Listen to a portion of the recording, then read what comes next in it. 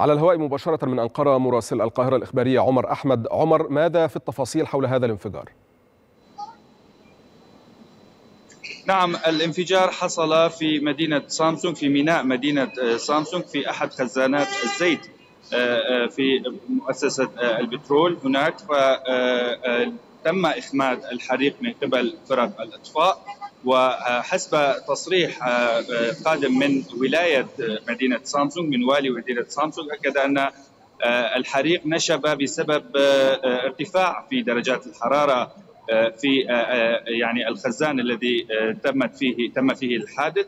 ولا يوجد حتى الآن أو لا يوجد إصابات بشرية ولا يوجد خسائر مادية سوى الخزان الذي تم فيه الحريق. وكما ذكر تم إخماد الحريق ويتم حاليا البحث عن أسباب هذا الأسباب التفصيلية لهذا الانفجار الذي لكن استقراء للبيانات الصادرة عن المسؤولين في, في سامسون عمر هل يبدو الأمر عملا تخريبيا متعمدا أم له علاقة ربما بخلل تقني أو خطأ بشري هو الذي أفضى إلى هذا الانفجار؟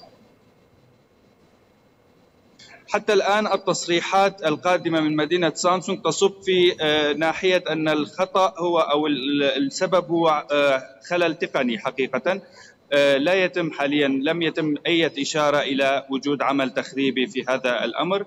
ولكن يعني نؤكد على موضوع أن التحقيقات مستمرة حاليا والمسؤولين في مدينة سامسونج سوف يفصحون عن الأسباب الكاملة لهذا الحريق. وفي حال كان هناك عملا تخريبيا أو عملا ارهابيا فكذلك سوف يتم الإفصاح عن هذا الأمر ولكن حتى الآن التصريحات في تصب في يعني ناحية أنه خلل تقني ما حصل ما في مدينة ما المقصود بخزان وقود؟ هل الأمر مرتبط بإنتاج نفطي ما في هذه المنطقة ولا خزانات التزود بالوقود التي يتم إمداد هذه المحطات بها؟ هو خزان للزيت آه الذي يتم رميه.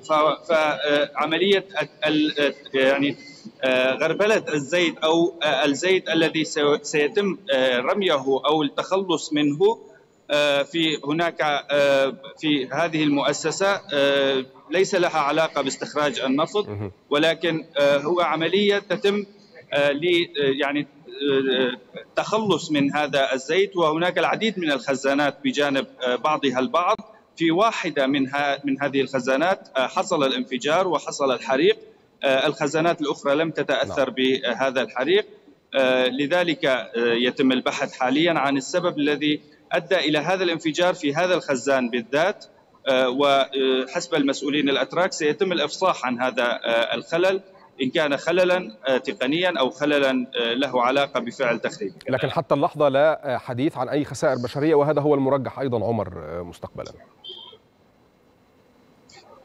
ليس فقط خسائر بشرية ولا حتى إصابات لا. حقيقة. هذا ما جاء بالتصريحات الرسمية من ولاية سامسونج. لا يوجد حتى إصابات أيضا. الخسائر المادية مقتصرة على الخزان الذي حصل فيه الحريق كذلك. عمر أحمد مراسلنا من العاصمة التركية أنقرة منضما إلينا على الهواء مباشرة. أشكرك شكرا جزيلا.